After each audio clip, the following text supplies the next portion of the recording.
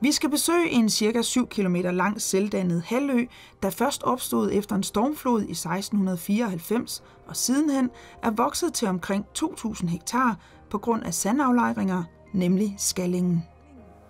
Det er et øh, stort område, som er nok det vildeste vildmark, vi har i Danmark, som er et meget foranderligt, dynamisk landskab, som er i øh, evig bevægelse. Der bliver lagt til, der bliver et af havet, og ingen ved, hvordan det ser ud øh, om 10 år eller 50 år.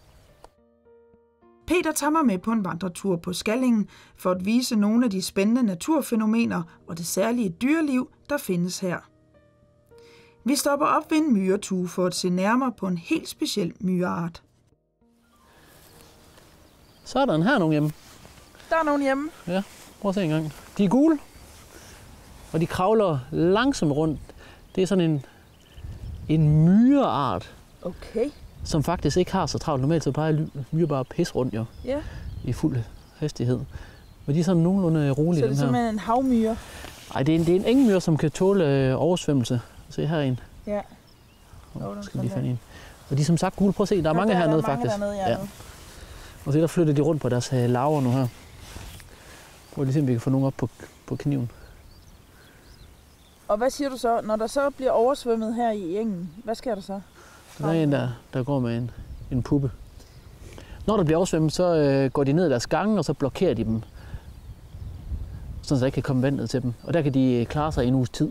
Hold da. Og det er sjældent, at der er oversvømmet i, i mere end en uge.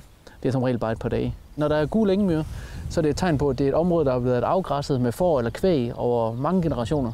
Og det har det været herude på Skallingen. Der har været hyrder med, med får næsten altid. Det her, det er jo, det er jo, det er jo gastro. En gastro-ingrediens på, på, Altså no- gastronomi. ja, på Noma. Nå. De betaler vist 2 kroner per engemyr. Værsgo. Tak, så den mener du, jeg skal spise? Hvis du har lyst til at smage den, Ja, Ja. jeg prøver. værsgo.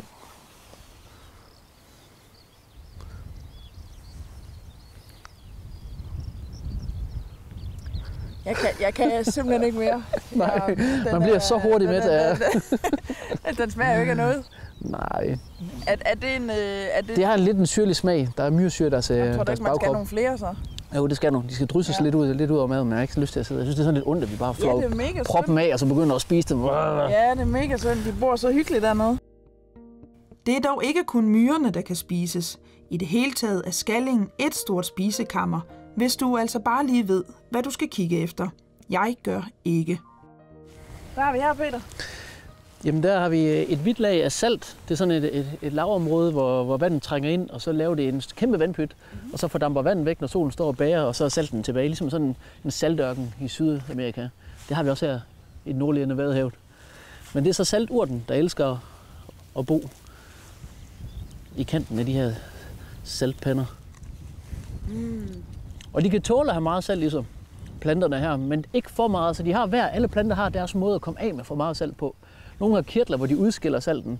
Nogle de lærer salten ud i et blad, og så lader de bladet falde af på et tidspunkt. Ja. Så de kan ikke lade ophobe sig alt for meget. Så de står og slår sig lidt med det. Man kan altså tåle meget mere end stort set alle andre planter.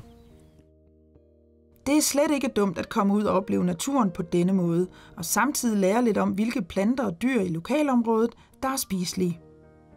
Så kan måltidet hjemme i campingvognen blive piftet lidt op med nye smagsvarianter, og så er det endda helt gratis.